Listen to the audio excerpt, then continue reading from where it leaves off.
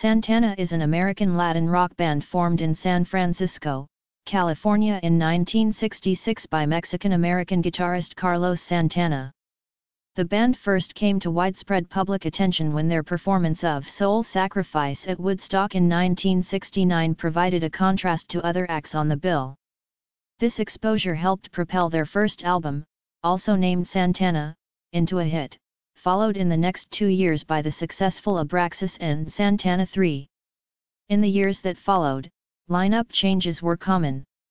Carlos Santana's increasing involvement with Guru Sri Chinmoy took the band into more esoteric music, though never quite losing its initial Latin influence. In 1998, Santana was inducted into the Rock and Roll Hall of Fame, with Carlos Santana, Jose Chepito Areas, David Brown, Greg Rolie, Mike Carabello, and Michael Shrieve being honored. The band has earned nine Grammy Awards and three Latin Grammy Awards, the latter all in 2000. Carlos also won a Grammy Award as a solo artist in 1988. Santana has sold more than 90 million records worldwide, making them one of the world's best-selling groups of all time. In 2013, Santana announced a reunion of the classic lineup for a new record, Santana 4 which was released in April 2016. They are tied for having the most won Grammys in one night. History 1967–72, Formation and Peak Years Early Days The band was formed in 1966 in San Francisco as the Santana Blues Band with the help of Tom Fraser.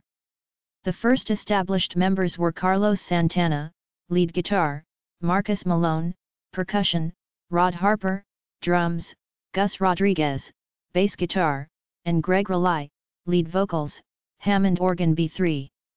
The group's first audition with this lineup was at the Avalon Ballroom in the late summer of 1967. After the audition, Chet Helms, the promoter of the event, in concert with the Family Dog, told the band that they would never make it in the San Francisco music scene playing Latin fusion and suggested Carlos keep his day job washing dishes at Tic Tock's Inn on 3rd Street. By the time Santana began work on its debut album Santana, Malone had already left the band as he had been convicted of manslaughter and had started serving his sentence in Marin County's San Quentin State Prison. Woodstock and Breakthrough Ahead of Woodstock, Bill Graham was asked to help with logistics and planning. Bill agreed to lend his help only if a new band he was championing, an unknown band called Santana was added to the bill. Santana was announced as one of the performers at the Woodstock Festival. The band started recording their 1969 debut album Santana in May 1969 and finished it in a month. Santana performed at the festival. Later that month, they released their debut album, which peaked at number 4 on the US Billboard 200 pop chart with the single Evil Ways being a top 10 single in the US. Abraxas and Santana 3 Santana went on tour to promote their debut LP and started work on their next, Abraxas. Work began in mid-April 1970 at Wally Heider Studios in San Francisco and was completed in early May 1970. The album, highlighted by a reworking of Fleetwood Mac's Black Magic Woman, written by Fleetwood Mac founder Peter Green, that peaked at number 4 on the US Billboard Hot 100, was released in September 1970 and rose to number 1 on the US Billboard 200. From January to July 1971 Santana worked on Santana 3. Released in September 1971, the album also reached number 1 on the US Billboard 200. At the peak of the band's popularity, the album was the last to feature its classic Woodstock-era lineup. Caravanserai Before recording their fourth album Caravanserai, there had been multiple lineup changes. Bassist David Brown left in 1971 before recording started and was replaced by Doug Rauch and Tom Rutley. Percussionist Michael Carabello left Santana and was replaced with two percussionists, Armando Peraza and Mingo Lewis. Keyboardist vocalist Greg Rolie was replaced by Tom Coster on a few songs. Caravanserai debuted at number 8 on the pop charts, despite not spawning a hit single. 1973-79 experimentation and consolidation. Thirteen months after Caravanserai, Santana released Welcome. Welcome was the first of four consecutive albums to achieve gold certification, as opposed to the previous four, which all at least reached platinum status. The album was certainly a wake-up call for the band, as it peaked at number 25 on the Billboard 200, the lowest of the band's career so far. The next few albums contained a more experimental style than their previous work, beginning with Borboleta, which fared arguably worse than its predecessor, despite climbing five spots on the US charts. The group's 1975 release, Amigos, was far more successful. Reaching number 10 on the US charts, and also hitting the top 10 in France, Australia, New Zealand, Austria, and the Netherlands, it was a form of return to the success of their early albums. Festival, somewhat contradicted that newfound success, but was a short blip before another successful album, Moonflower, released in 1977. The album was possibly the most successful since Santana 3 achieving 2x platinum in the US, and being the first album since 1974's Borboleta, to break the top 10 in the UK.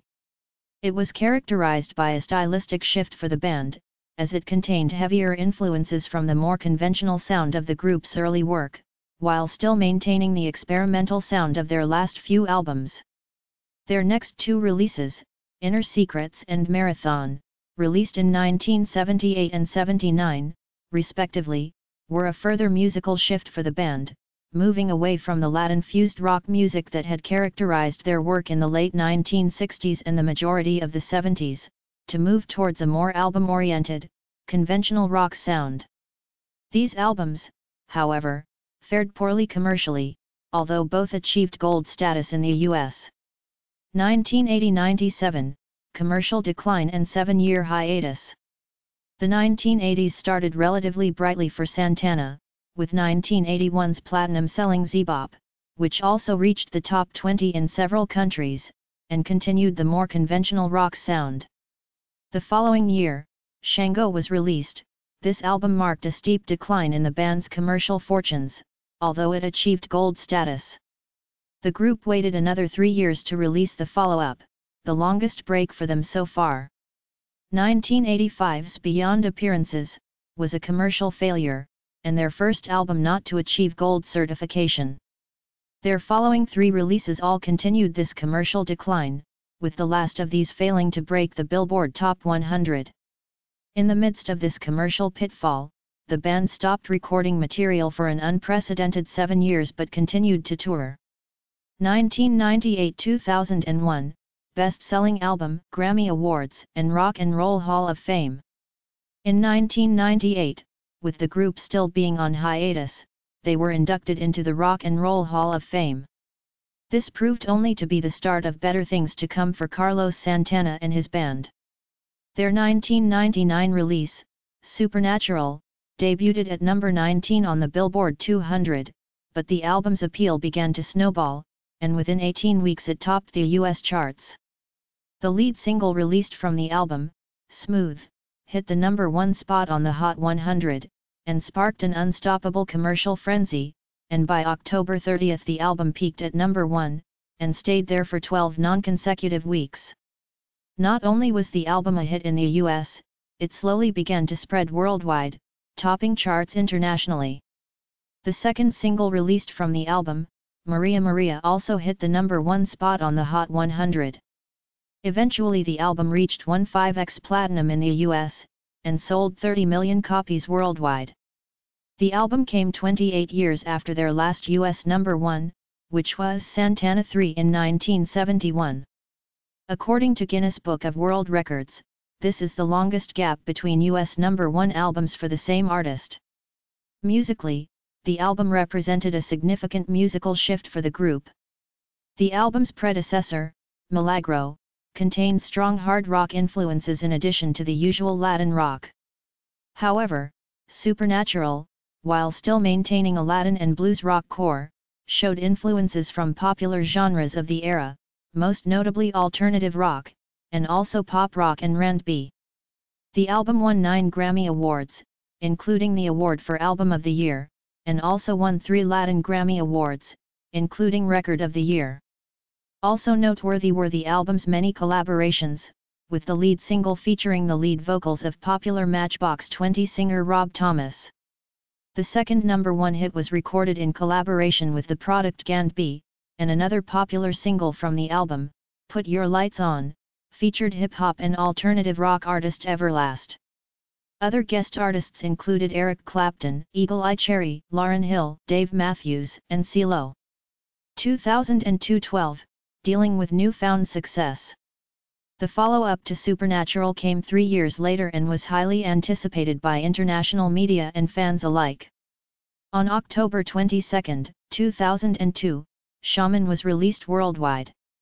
Although it initially sold briskly, 298,973 copies in the US in its first week, and debuted at number 1 on the Billboard 200, the album's appeal quickly wore off and it soon slid down the charts. Despite this, it went on to sell 2x platinum in the US, and achieved platinum status in several other countries including Australia. The first single released from the album, The Game of Love, which featured vocals from Michelle Branch, debuted at number 5 on the Hot 100. The album's next four singles failed to chart in most countries, but the final single, Why Don't You and I, featuring the vocals of Alex Band, reached number 8 on the Hot 100. Musically, the album was a return to a more conventional sound for the group, with a mainly Latin rock-based sound. With their renewed appeal worn off, another three-year wait saw the release of 2005's All That I Am. The album debuted at number 2 on the Billboard 200 but fared worse internationally, and quickly lost appeal. The album, a continuation of the Latin rock-influenced sound of Shaman, achieved gold certification in the US. A five-year break from recording saw the release of another studio album, 2010's Guitar Heaven. Musically it was a drastic change for the band, with a far heavier sound at its core and strong heavy metal influences. It debuted at number 5 on the Billboard 200 but marked another decline for the band, failing to achieve gold status. In 2012 the group released Shapeshifter, which returned to the conventional Latin rock sound and was completely album-oriented, as no singles were released from it. It debuted at number 16 on the Billboard 200. 2013 present, reunion of the classic lineup, Corazon and Santana 4. On February 2, 2013, Carlos Santana confirmed that he would reunite his classic lineup, most of whom played Woodstock with him in 1969.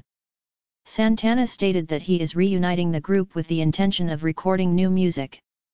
Confirmed for the reunion are Neal Schon, who was in the band in the early 1970s where he traded lead guitar work with Santana before leaving with founding Santana singer-organist Greg Rolie in 1973 to form Journey, drummer Mike Shrieve and percussionist Mike Carabello.